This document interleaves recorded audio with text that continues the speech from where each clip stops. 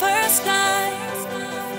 Just think it through. Just to be like the first time in